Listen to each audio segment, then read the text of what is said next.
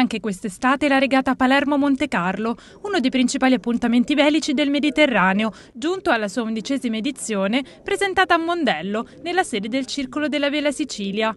Divenuta negli anni punto di riferimento internazionale, con equipaggi in arrivo da tutta Europa, quest'anno avrà tra i suoi concorrenti anche il grande velista oceanico francese Lionel Pean, al via con un maxi che arriva dalla Volvo Ocean Race.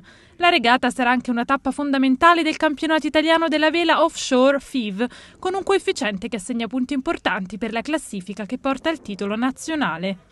Agostino Randazzo, presidente del Circolo della Vela Sicilia. La regata va crescendo piano piano, si va consolidando piano piano, ormai eh, ci stiamo affermando come una, una classica del Mediterraneo. Ci sarà anche il detentore del record di vittorie, lo sloveno Igor Simcic, con tre successi in questa classica d'estate, che avrà come sempre l'olimpionico tedesco Johann Schumann nel ruolo di skipper.